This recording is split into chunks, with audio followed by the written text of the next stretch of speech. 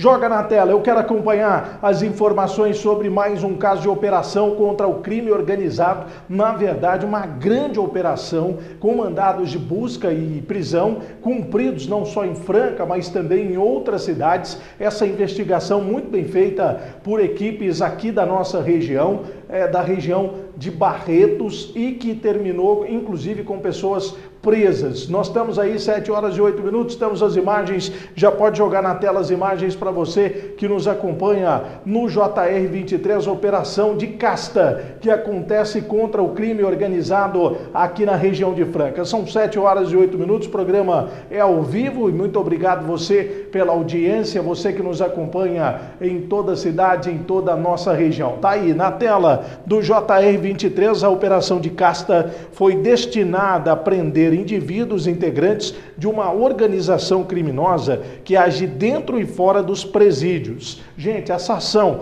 ela contou com participação dos policiais do GOI, o Grupo de Operações Especiais de Barretos, a Delegacia de Guaíra, também a Delegacia de Cosmorama, do The Inter 5, o primeiro Distrito Policial de Bebedouro e a SIG, que é o setor de investigações gerais de Mogi das Cruzes. Os mandados foram cumpridos nessas cidades: Barretos, Bebedouro, Guaíra, Cosmorama e Itaquaquecetuba também. Dois investigados, é, dos investigados, seis já se, se encontravam presos por outros crimes. Foram presos também durante esta operação dois homens e uma mulher da cidade de Barretos, dois homens na cidade de Guaíra, um casal em Cosmorama, dois homens estão foragidos. A mulher presa em Barretos tem contra si um mandado de prisão por homicídio e outro por organização criminosa. A polícia investiga, inclusive, esta mulher que tem um mandado de prisão por homicídio,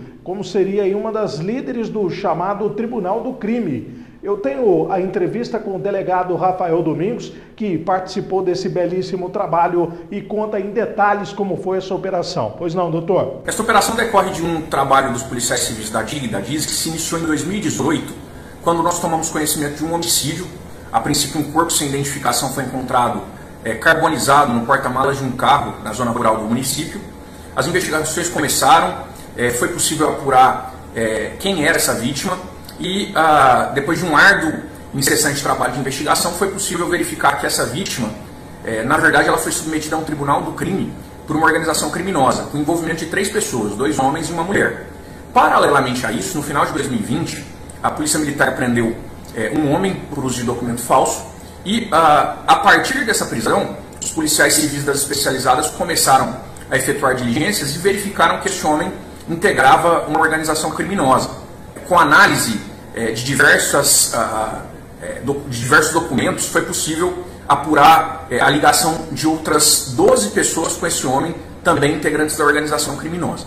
Com base em todas essas informações, é, instaurados dois inquéritos distintos, um para apurar uh, homicídio e outro para apurar organização criminosa, nós pedimos ao Poder Judiciário, a primeira vara de Barretos, mandados de prisão e de busca e apreensão contra essas pessoas. Esses mandados foram definidos e na data de hoje foram cumpridos, cumpridos em diversas cidades do estado. Bebedouro, Barretos, Guaíra, Itacoaxetuba e Cosmorama, com é, o apoio dos policiais civis de cada uma dessas cidades. É, nós tivemos aí a, a, maioria dos alvos presa, né? É, nós temos até o momento dois homens foragidos. É, as investigações agora prosseguem, tanto em relação ao homicídio é, quanto em relação à organização criminosa. É, e é importante dizer que a Polícia Civil de Barretos vem aí há algum tempo já combatendo é, e prendendo integrantes dessa organização criminosa, é, como ocorreu nas operações EFODO, na primeira e na segunda fase em 2020 e 2021, onde foram presas 40 pessoas por integrarem organização criminosa.